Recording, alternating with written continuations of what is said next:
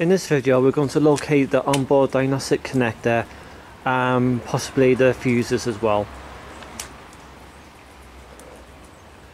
Now before we do we're going to I'm going to go through the briefly I'm brief, briefly going to go through the specifications of the car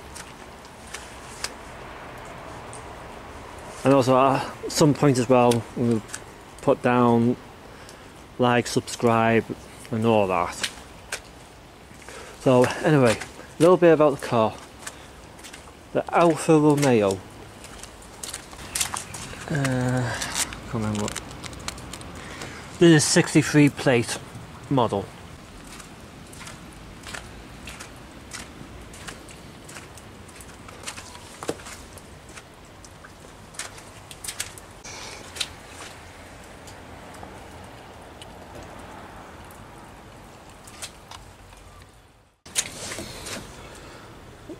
Locating the onboard diagnostic connector.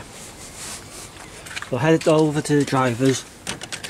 There's this panel up here, pull it out. I think someone's had a go at that. That looks broken. And just in here.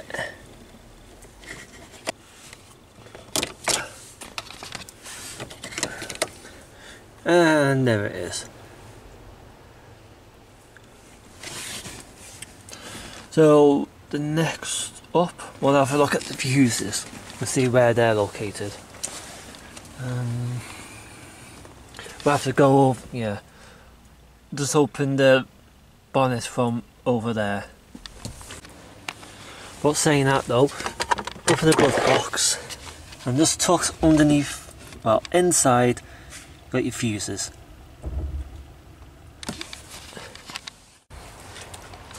And there's the secondary box there'll be a auxiliary fuses. So we moved up um, this here using that.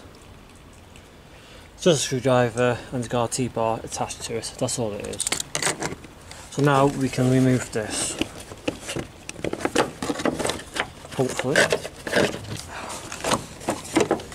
Why aren't these any easy to take out? There you go. And then you got your fuses, relays of the auxiliary